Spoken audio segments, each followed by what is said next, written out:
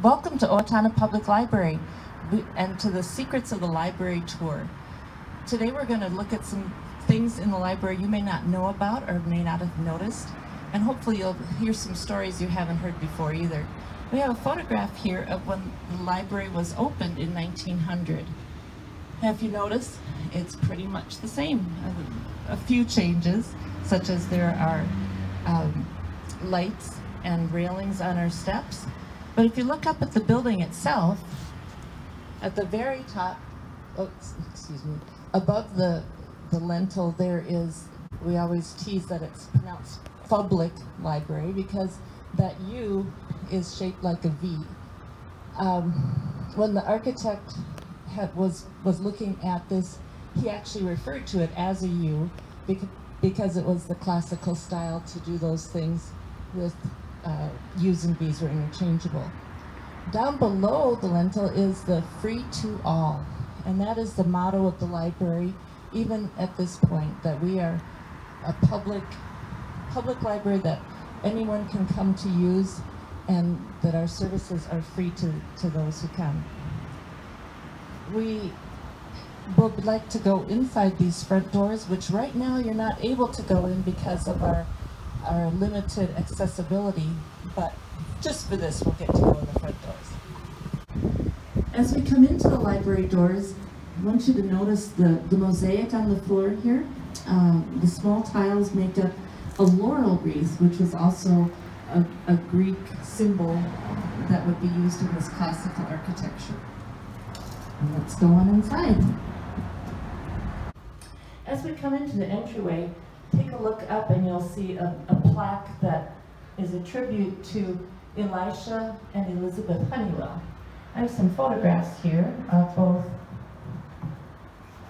Elisha, there he is, and, and Elizabeth.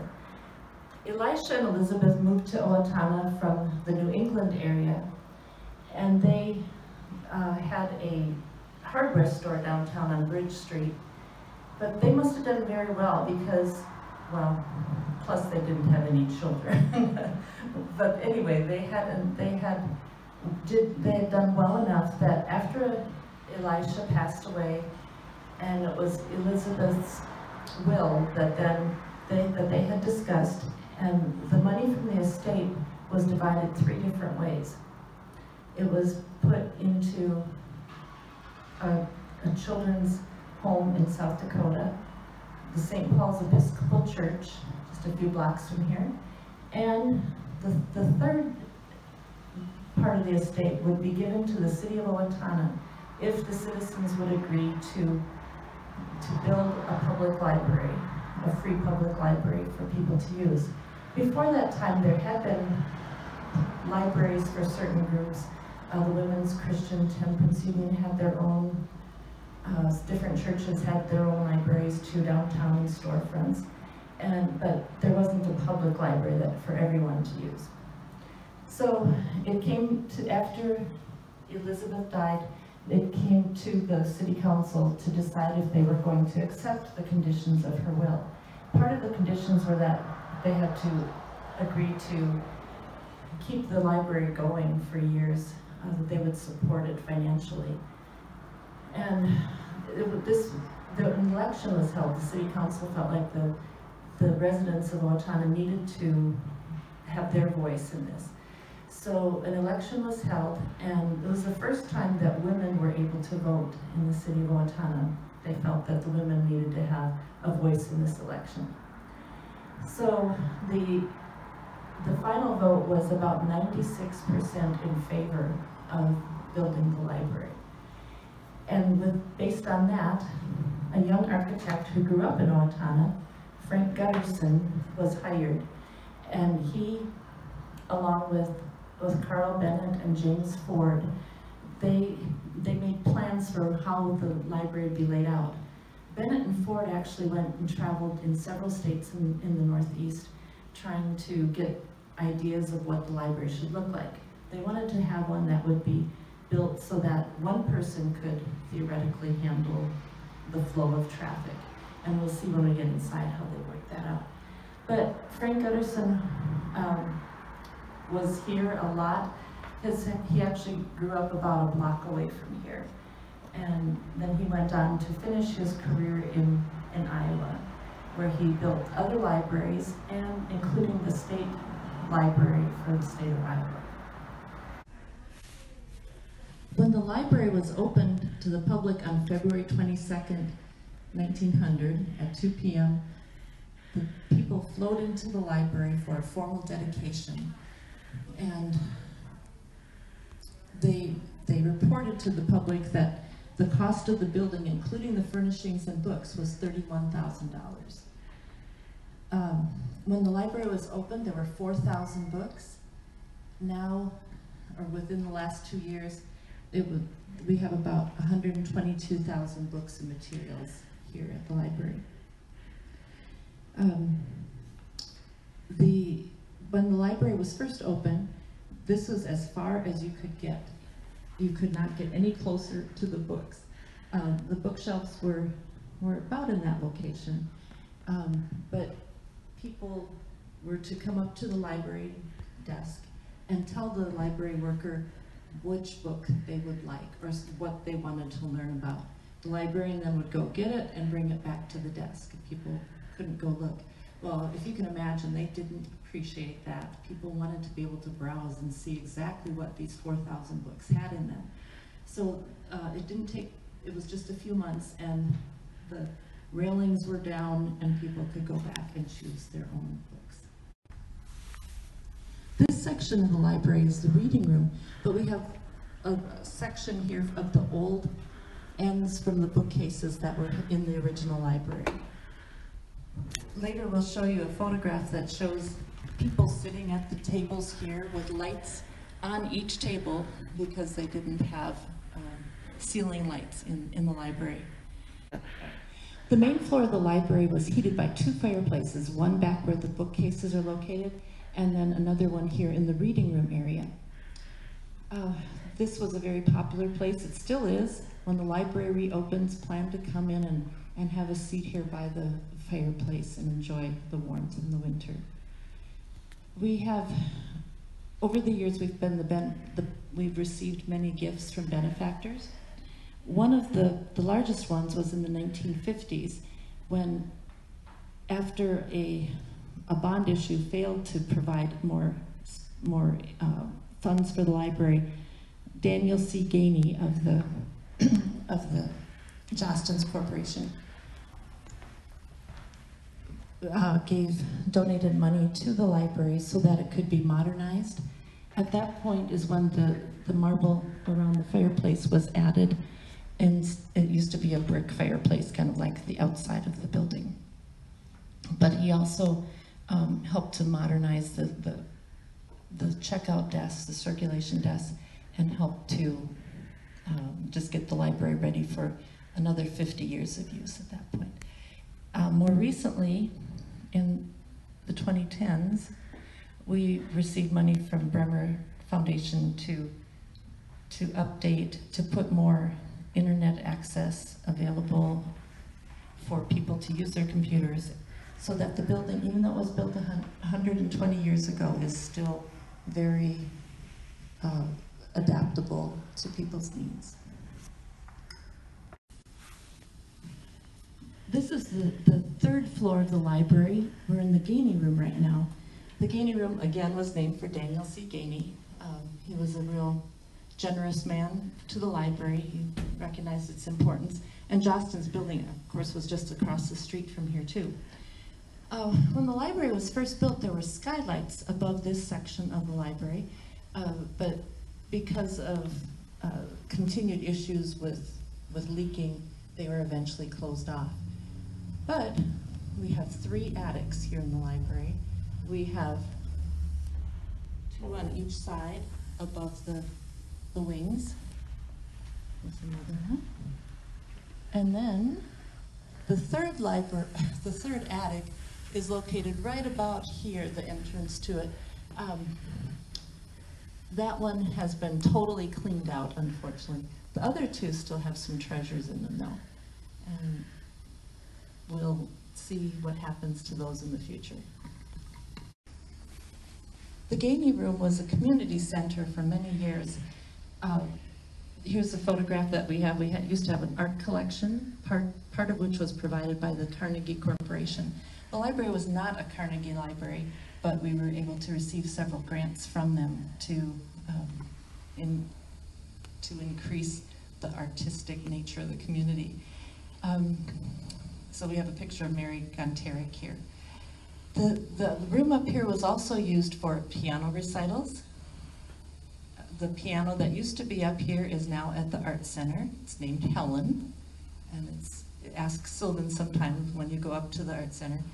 Uh, we, there also were community education classes held here, movies were shown, and when the library is open again, they'll be shown again, we hope. Um, we have, have added a new state-of-the-art movie system up here so that uh, businesses or, or individuals can use, use the room for their, their needs. Sylvan tells the story of when they had to get the piano out of this room. They decided that the Art Center could use it more easily.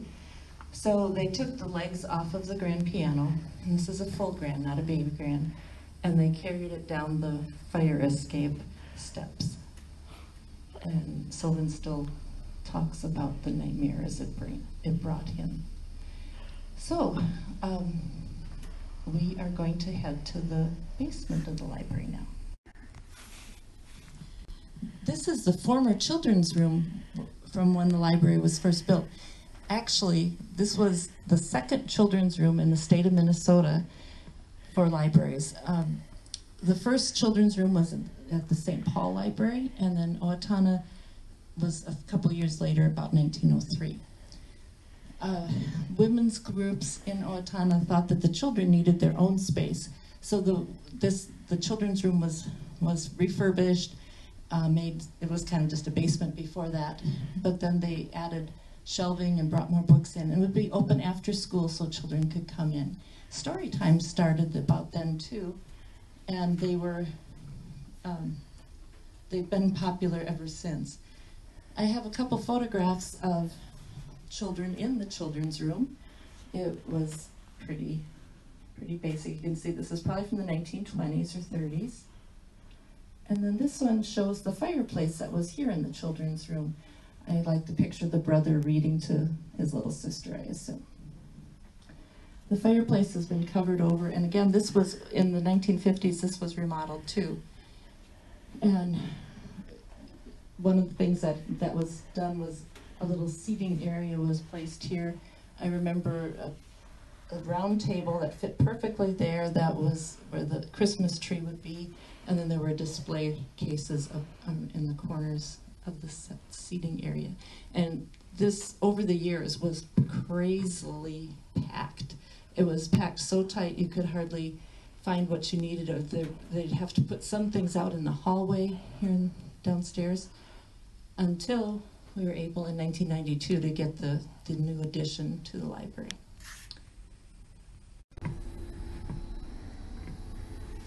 The rooms down in the basement have had different uses over the years. Right now, this one is used for our cleaning, cleaning people. But if you come back in closer, keep coming, we're going to show you the real foundation of the library. Watch your head. There you can see the limestone uh, that was the original part of the library. There, things have changed over the years, but there you can you can see pretty well how that was built. Thanks. Somewhere in the in the basement of the library was the Jaeger bird collection. We kind of uncertain exactly where it was, but here's a picture, picture of Mr. Jaeger showing an eagle that he had taxidermied. And there were also other pictures of, of uh, the whole collection of birds that he had. If you go to the Owatonna Senior High School, you'll still see some of these birds in the science rooms. So they are still around. But come on back, I want to show you what else we have hidden away.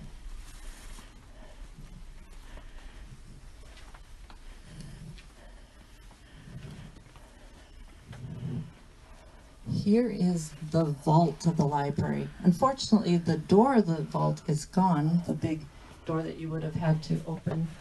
But the inside doors are still here. There we go.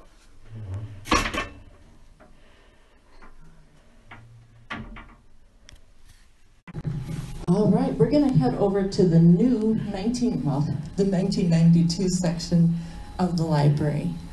Now remember how small that children's area was?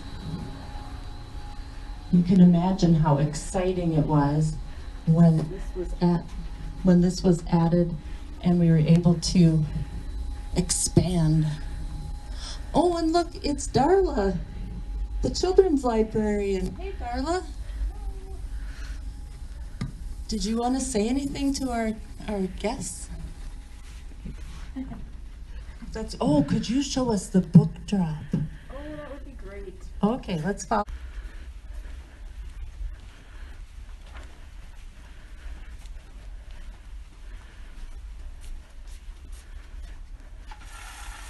I'm in the wrong spot. And it was pushed. This is the book drop. When you return your books from outside, they land in one of these bins. And right now, we're sorting them onto carts so that we can quarantine the books for 72 hours. So that's three days that your books have to sit here. So, but there's no fines, so don't worry about that. But, so we have a kid's cart and we have an adult cart. I don't know why. Here's this, the program area. You'll notice the computers. Some of the computers are turned on because you can come in now and make appointments and come and use a computer. If you're under 16, though, you need to be with your parents, okay? But this is also where we've had our story times. We've had big programs like two, 200 people in this one room. That won't be happening for a little while, but we hope to, that our regular programs will be able to start at some size before too long.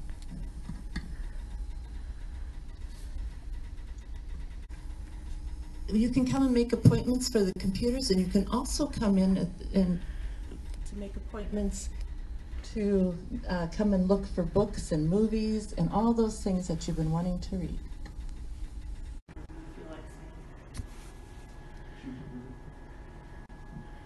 We're in the new section of the library on the second floor now, and you'll notice that there are also protective barriers up here.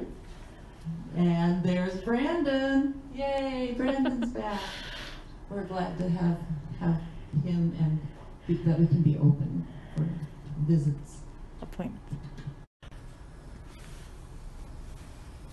The Owatonna Public Library is part of the library system for all of Steele County. Uh, the- That includes the Blooming Prairie Branch Library where I get to work full-time. But we have been a county library for many years. When there was a, a very well-known librarian, Maud Van Buren, who had two different times that she worked here at the, at the public library. And she spent, she really wanted to make sure that people outside of the city limits would also get services. So she instituted a traveling bookcase. Bookcases, this one is located at the Ellendale Post Office in 1927.